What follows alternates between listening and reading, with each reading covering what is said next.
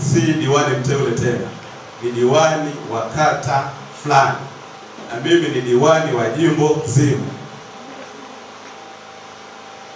Ndugu mwenyekiti, kwa sababu ya muda, lakini itoshe tu kusema leo ni furaha, kwa sababu yale tuliokuwa tunatafuta tunayapata, na bahati nzuri sana halmashauri ya Busokelo ni chama kimoja.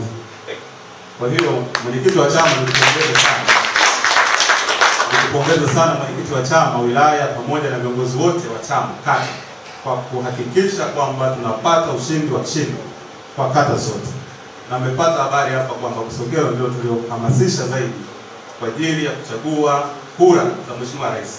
Kwa mkoa wa Mbeya sisi ndio tunaongoza Busokelo. eh.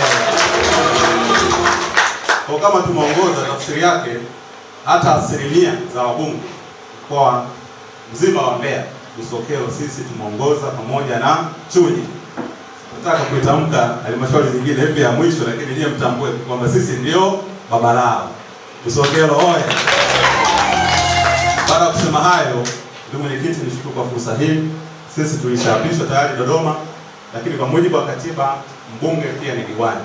Usije ukashangaa kwamba kwa nini nimeapishwa tena hapa, lakini kwa mujibu wa sheria hiyo hiyo inasema tena mbunge ndiye mwakilishi, kwa sababu kazi kubwa za mbunge ni pamoja na kuwakilisha ni nyote, waheshimiwa madiwani na wananchi wote wa jimbo husika. Hiyo ndio kazi ya kwanza, lakini kuitetea halmashauri ama kutafuta fedha kwa ajili ya miradi ya maendeleo ambayo tumepambana nayo kwa miaka mitano. Lakini zaidi ya hapo, pia kazi kubwa ya mbunge nyingine ni kuwakilisha nchi katika pale mahala ambapo utatumwa na viongozi wa kitaifa.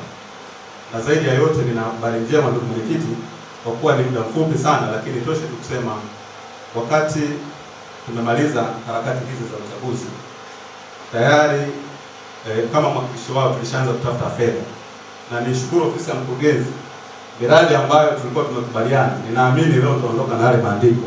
Tumepata fedha kama bilioni moja hivi kwa kila kata kwa miradi hiyo, na niwashukuru sana wataalamu kwamba mmeshaanza kuandika na inatakiwa tuwahi kuipeleka. Ilitegemea hata wiki mbili zilizopita ambayo kuipeleka, lakini huenda maandalizi ya hivi vikao ndio yamefanya tu hivi.